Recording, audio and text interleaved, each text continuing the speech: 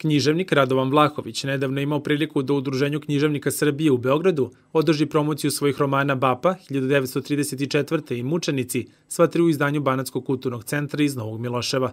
Pored autora svojevrsnoj banatskoj sagi o junaku Branku Popovu i njegove porodici, ali i generalno običnom čoveku na prostoru nekadašnjeg Banata, govorili su i mladi književni kritičari Nenad Stanović, Milana Pučki i Vladimir Petrović, dok je odlomke iz romana kazivala Senka Vlahović. U središtu te priče nalazi se a, glavni junak a, Branko zvani Bapa i a, može se slobodno reći da je isto vreme ovo porodična priča priča o Bapi, prvenstveno, ali njegovoj supruzi, njegovom bratu, porodici, uopšte načinu života koji je bio uh, odmah posle velikog rata u Banatu. S druge strane, uh, ovaj roman je sjajna istorijska slika, prilika, uh, gotovo sjajni prikaz, uh, gotovo deceniju i po ove, života u Banatu, svih preloma koji su bili. A, suštinski mi vidimo a, neke događaje koji će kasnije kulminirati u drugom svetskom ratu, kasnije revoluciji, a to vidimo kroz svakodnevni život junaka, kroz njihove male sukobe, a, kroz njihova različita mišljenja i prosto kao da vidimo z, a, zemljotres koji onako polako zemlja podrhtava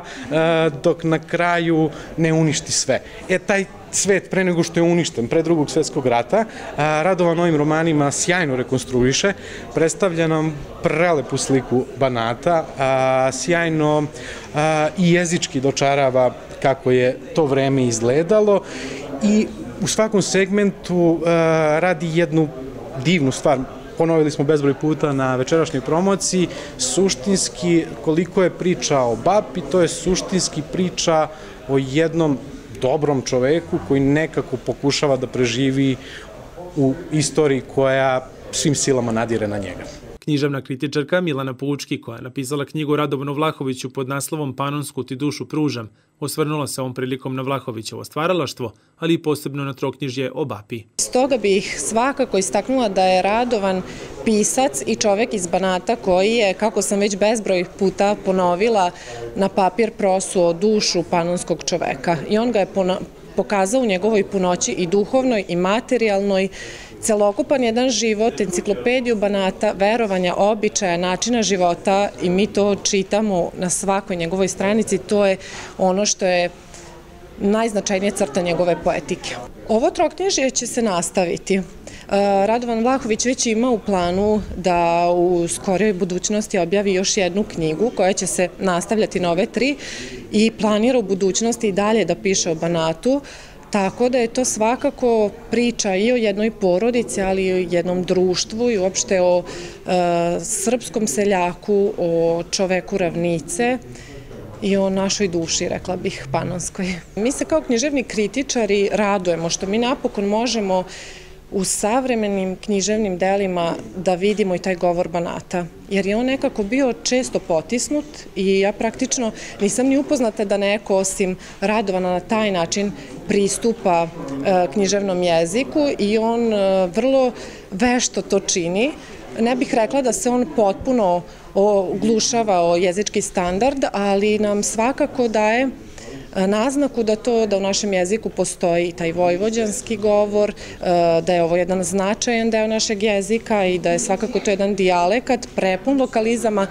koje treba svakako sačuvati i rekla bih da on na taj način čuva i naš jezik i našu tradiciju i da je to jedno bogatstvo koje je neizmerno. O svom književnom stvaralaštvu Vlahović kaže Živeti znači stvarati, stvarati znači radovati se.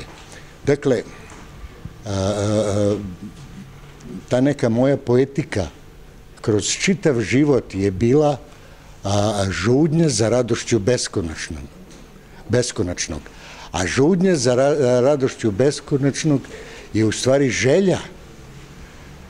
da se nađem u krilu tvorca svemira, gospoda Boga našeg i da se osjećam kao njegovo ljubljeno čedo.